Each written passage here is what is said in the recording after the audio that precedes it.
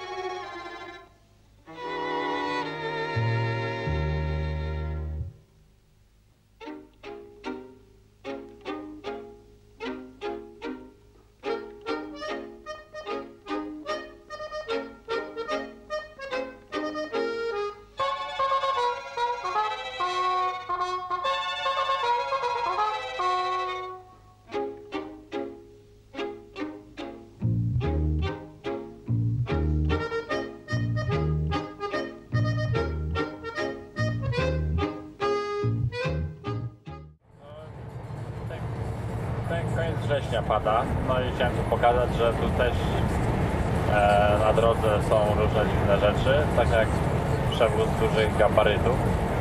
Można się naoglądać telewizji przewozu domów. Na trasie można się naoglądać przewozu jakichś e, maszyn do zwiertów, czy słupów do tych wiatraków e, powietrznych.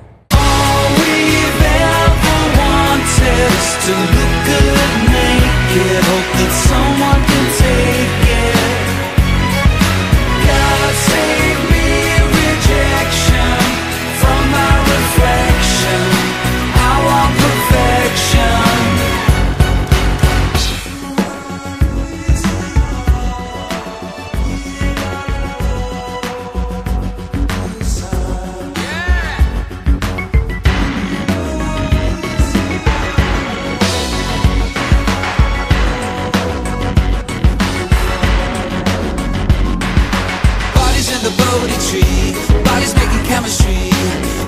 My family, bodies in the way of me. Bodies in the cemetery. Chyba rozszyfrowałem swoją firmę, znaczy działania mojej firmy. Firma za wszelką cenę chce doprowadzić do tego, żeby chyba każdy pracownik w pewnym czasie doszedł do wniosku, że jego praca nie ma sensu w tej firmie. A robią to przez podpisywanie idiotycznych kontraktów, takich jak e, firma, w której dzisiaj byłem. To jest taki, aż pamiętam jak się nazywa, zresztą ma- mało istotne. Eee, to, że tam trzeba robić samemu rozładunki, to nie jest problem. Problem polega na tym, że tam się czeka na wszystko. To jest raz. Dwa, nie ma miejsca gdzie się rozładować, to jest trzy, to jest dwa. Obsługa jest fatalna, bo tam można usłyszeć tylko this is not my problem, I can help you, no, nine, to wszystko. Ja dzisiaj tam byłem o godzinie 12, o godzinie 16 skończyłem tam rozładunek to jest po prostu niebywałe. To jest coś, coś po prostu nie... I, I że firma trzyma coś takiego, jakie to są straty. Bo- Ale dobra, to jest problem firmy, jakie ma straty. Natomiast jeżeli chodzi o mnie, to dzięki takiemu rozładunkowi, który no, nie jest pierwszy, umocniło mnie w tym przekonaniu, że mój czas dobiega końca w tej firmie. Dlatego, że to nie ma sensu, bo jak ma to się powtarzać, ja mam tracić pół dnia tylko dlatego, że mam patrzeć na jakiegoś Araba, który po prostu się kręci jak gówno w przelewu, to mnie się po prostu odechciewa. związku z tym mamy godzinę w pół do piątą, znaczy 16.30. Ja dojechałem do bazy jakieś 10 km, właśnie e, jestem w Horningu, więc co to po klienta jest tam oddalone jakieś 10 km. Właściwie rano wstałem, zrobiłem 200 km, dojechałem do tego, e, ta miejscowość nazywa się mm, Hojberg, Hojbjerg, może tak. No i tam spędziłem pół dnia. Jaki to ma sens? Ja nie wiem. Że oni to trzymają, też nie. No w każdym razie e, dzięki temu, że tak się stało, jak się dzisiaj stało, że tyle tam straciłem, nawet nie czasu, ale czas to czas, no, ale też i nerwy, bo człowiek tam po prostu gania, oni każą przestawiać paletę z miejsca na miejsce, nie ma gdzie ich w ogóle wystawić.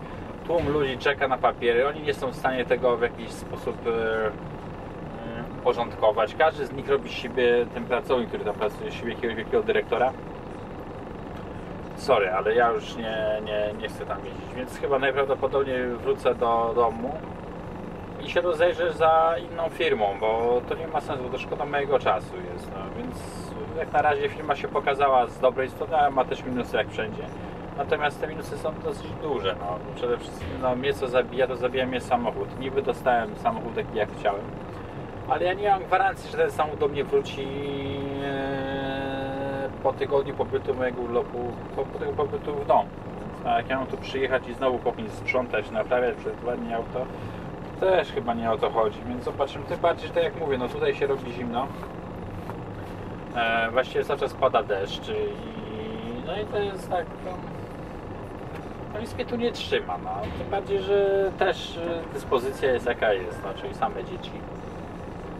No to nie przeszkadza, niech się młodzi rozwijają, tak, natomiast no, jest coś z nimi załatwić, to jest raczej nierealne, bo nic nie mogą, albo w ogóle nie panują, nie mają pojęcia, jak to zrobić. Cokolwiek zrobić. No, no trudno wymagać od ludzi, którzy są dopiero po studiach lub ewentualnie skończyli szkołę lub mają jakieś niewielkie doświadczenie ze względu na wiek. No, jest jak jest, ja potem za to płacić, cierpieć, nie wiem. No, jakkolwiek, e, więc ja nawet, jak już kiedyś wcześniej mówiłem, że do nich nawet nie dzwonię, bo odpowiedzi z góry albo znam, albo są takie, że po prostu mnie zaskakują, że można być takim idiotą po prostu, żeby coś takiego powiedzieć. No nic, ja dzisiaj jestem trochę poddenerwowany, bo już mam tego dosyć tego dnia. Eee, właściwie pół dnia, pół dnia przerąbany w jakiś no nawet nie mogę to przypomnę, też mi się niedobrze robi. No ale to widocznie tak, widocznie tak ma być. No. Ja, ale ja nie chcę, nie chcę w tym uczestniczyć i, i nie będę.